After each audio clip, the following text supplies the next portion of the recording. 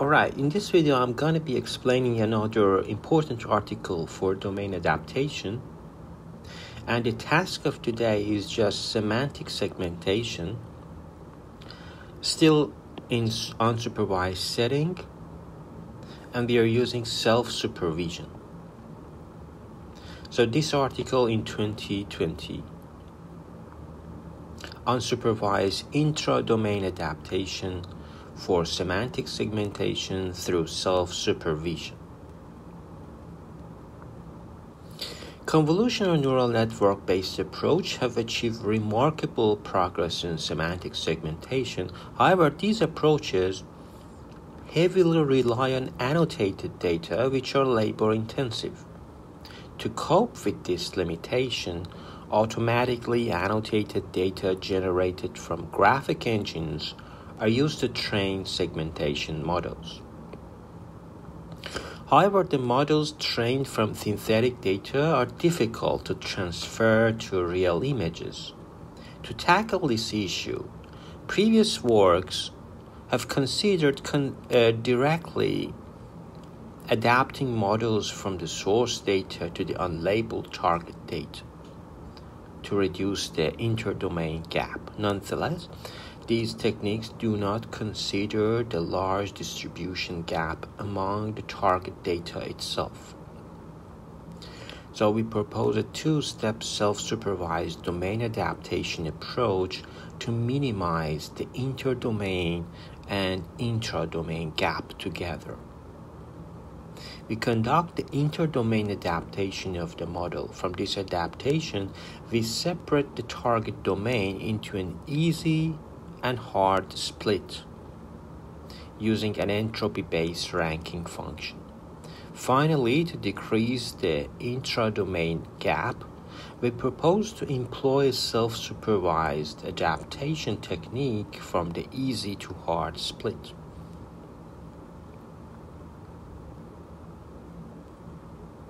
So they split the target into hard and easy images, and then they do adaptation.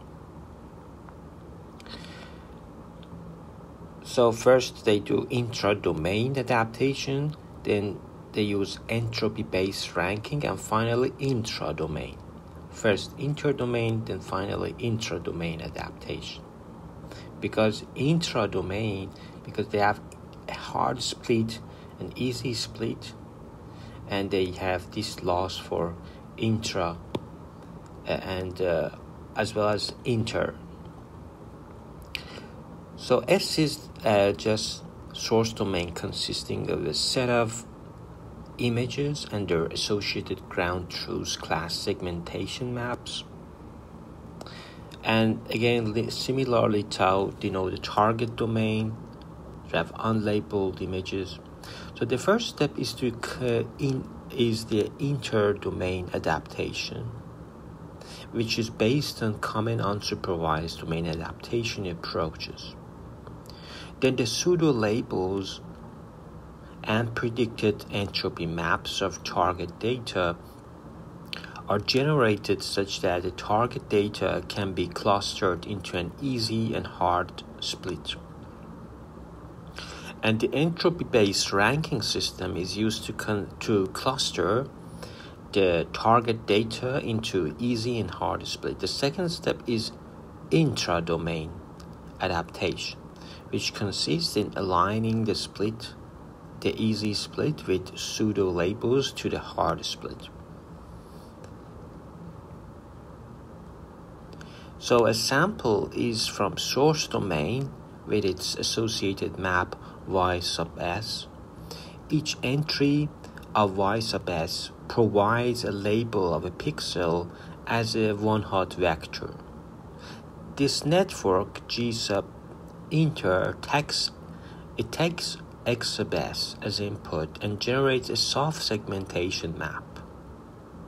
Each C's dimensional vector at a pixel serves as a discrete distribution over C classes. So we just minimize this cross entropy loss. But to close the interdomain gap between source and target, uh, this reference proposes to utilize entropy maps in order to align the distribution shift of the features. The assumption is that the trained models tend to produce overconfident.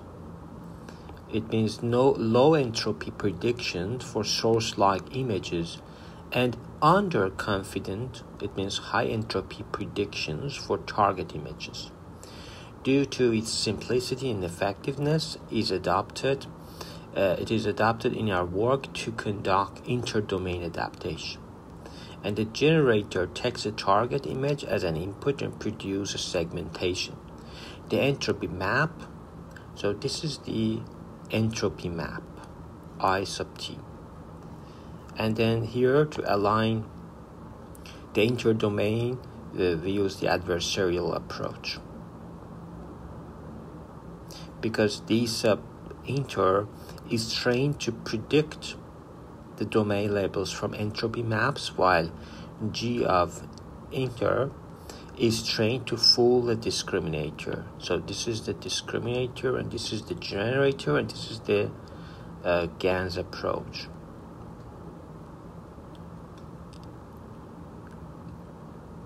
The generator takes a target image as input to generate P sub t and the entropy map. So we adopt a simple yet effective way for ranking, which is the mean value of entropy map.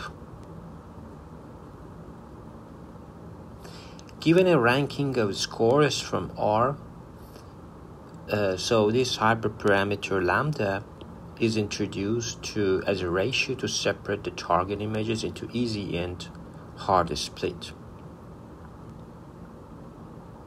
Since no annotation is available for the easy split, directly aligning the gap between easy and hard split is infeasible, but we propose to utilize the predictions from G-inter as pseudo labels. Given an image from the easy split, we forward it to G-inter and obtain prediction map. While P sub t is a soft segmentation, we convert it to P t where each entry is a one hot vector. With the aid of pseudo labels, it is optimized by minimizing the cross entropy loss. To bridge the intra-domain gap between easy and hard split, we adopt the alignment on the entropy map for both splits. An image from hard split is taken as input to the generator to generate the segmentation map and the entropy map. The, to close the intra-domain gap, the intra-domain discriminator is trained to predict the split labels. And it is from the easy split and it is ITH stands for hard. This is for stands for easy.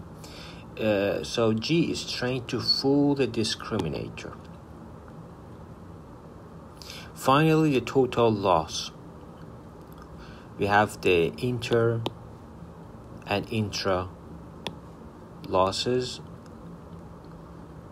so since our proposed model is a two-step self-supervised approach, it is difficult to minimize it in, in one training stage. Thus, we choose to minimize it in three stages. First, we train intra-domain adaptation for model to optimize G-inter and D-inter. Second, we generate the target pseudo label by utilizing G-inter and rank all images based on S. Finally, we train the intra-domain adaptation to optimize G-intra and D-intra. So when you go from one source to target or another source to another target, you see that uh, you have different performance for different methods. For example, method of this paper you can you can use it for uh, different sources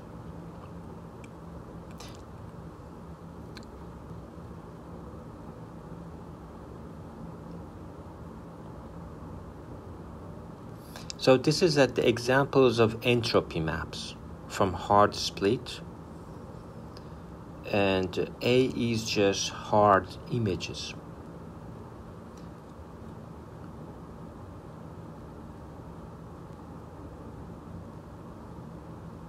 But D, D here, as you see, are improved predicted segmentation result of hard images. So hard images is here, but this is the improved segmentation.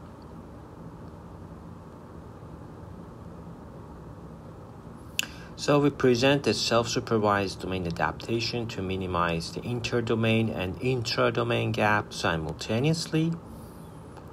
We first train the model using the inter interdomain adaptation from existing approaches. Secondly, we produce target image entropy maps and use an entropy-based ranking functions to split the target domain.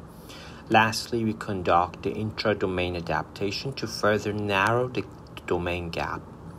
We conduct extensive experiments on synthetic to real images in traffic scenarios. Our model can be combined with existing domain adaptation approaches.